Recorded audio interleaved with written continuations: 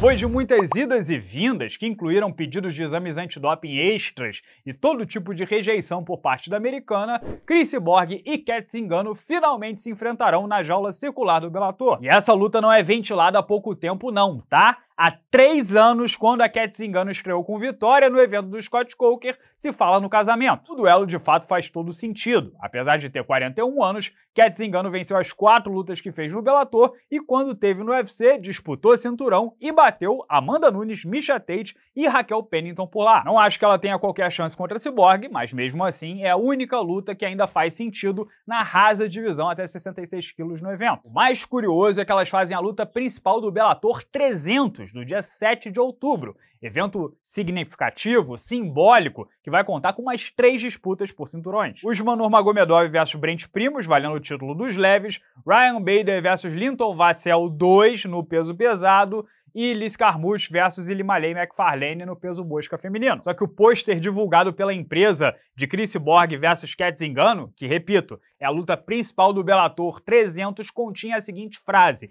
isso acaba aqui. A leitura óbvia é que estão se referindo à rivalidade de mais de três anos da Zingano com a Cyborg. Mas começaram a rolar boatos na internet que a frase isso termina aqui tem um duplo sentido. Isso acaba aqui estaria se referindo ao próprio Bellator, que não vai muito bem das pernas e já tem conversas avançadas com o potencial comprador. Ainda não é oficial, os documentos não foram assinados, mas nos bastidores do mundo da luta, a compra do Bellator pela PFL já é algo dado como certo. O Scott Coker já anunciou publicamente que está à venda, que precisa de caixa para continuar investindo se o evento quiser sobreviver, e o dono da PFL, Don Davis, disse que agora em agosto vai anunciar uma grande novidade que muda completamente o mercado global de MMA. Para vocês terem noção da iminência, o Parrumpinha, um dos principais treinadores da American Top Team, que é a maior equipe de MMA do mundo, disse semana passada ao PVT do Marcelo Alonso que estava preocupado do seu atleta Alexander Chabili ficar a ver navios com o cancelamento do GP dos leves do Bellator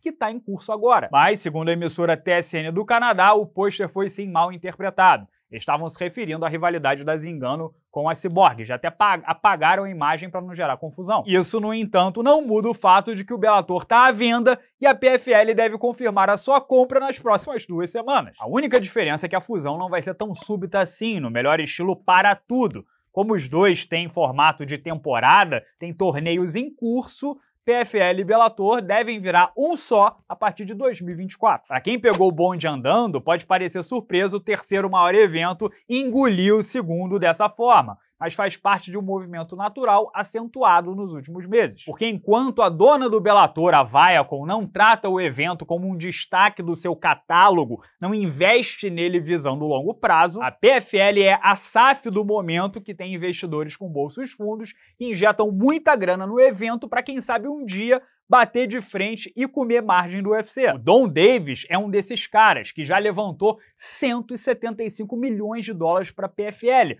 Até celebridades como o comediante Kevin Hart, o coach Tony Robbins e o rapper Wiz Khalifa têm um pedacinho do bolo. O resultado de tudo isso é claro. Em 2023, a PFL já é disparado o segundo evento de MMA com mais menções, mais engajamento nas redes sociais. Para vocês terem uma ideia, de maio a julho no Twitter, eles tiveram quase 10 vezes mais citações do que o Bellator. E os caras estão inegavelmente com o pé no acelerador. Contrataram o Francis Enganou, deram uma fatia do bolo pro Jake Paul, que deve fazer a sua estreia no MMA no início do ano que vem contra o Nate Diaz na PFL. E na semana passada fecharam contratos longos com a Clarissa Shields e a Amanda Serrano, duas das maiores pugilistas do mundo que vão se dedicar ao MMA. E tem mais. Também venceram o UFC numa disputa pelo francês Cedric Doumbé, talvez o melhor kickboxer da história história da divisão até 77 quilos. Ou seja, enquanto o Bellator está declinando, a PFL está fazendo assim graças ao cash dos investidores, que, claro, querem ver essa grana de volta no futuro. Esse retorno vai chegar? Não sei. Eles terão paciência para torrar essa grana até quando? Também não sei. Mas o movimento da PFL é esse, de expansão.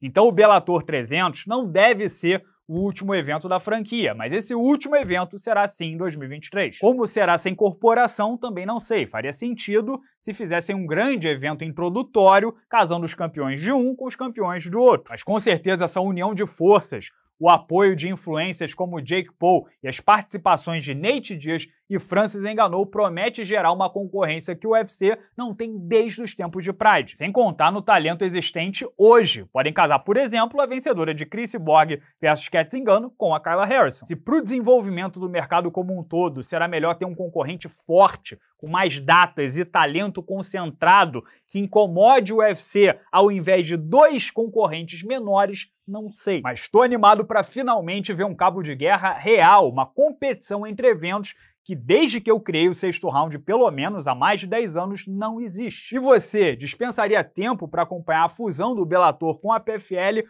ou só se interessa mesmo pelo líder de mercado, pelos rostos familiares e as narrativas de sempre do UFC? Você se interessaria em ter uma gerência nova, um produto novo, uma nova forma de fazer, contanto que o talento chegue perto do líder de mercado, não há uma grande diferença técnica? Comente livremente aqui embaixo no vídeo, quero saber a opinião de vocês, né? A demanda do meio do MMA no Brasil. E deixa também o like que ajuda bastante o 6 Round a circular pelo YouTube. E não se esqueçam de conferir o podcast dessa semana que eu e André Azevedo falamos sobre Rafael dos Anjos versus Vicente Luque, mas esmiuçamos o UFC 292 do próximo sábado. Sean O'Malley versus Aljamain Sterling, Amanda Lemos versus Weili Zeng, entre outras lutas interessantes. Você clica no link aqui do lado e confere também nas plataformas de áudio Google Podcast, Apple Podcast e Spotify. Beleza? Grande abraço a todos, obrigado pela audiência de sempre e até amanhã.